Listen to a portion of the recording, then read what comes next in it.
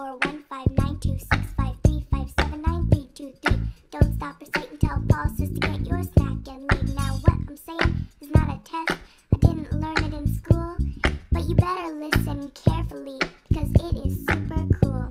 You know I am Rachel and I want to talk about pi. So Josh, Trey, Isabel, and Julia here.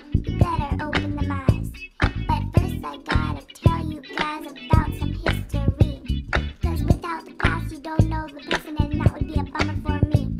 It's hard to tell exactly who came up with this pi. But different people came up with different numbers. This I will not lie.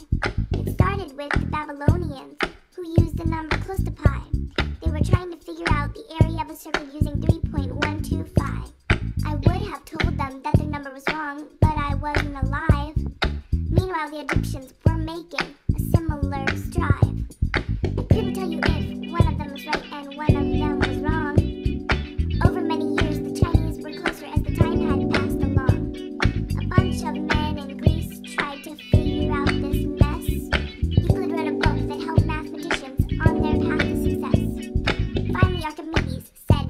was 22 over 7.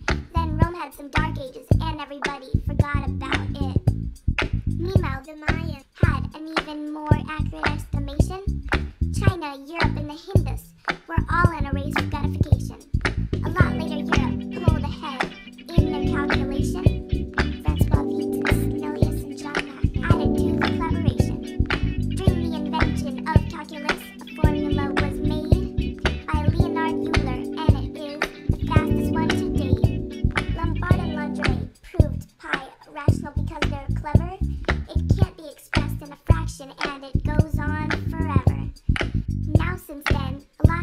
happened as we calculate more.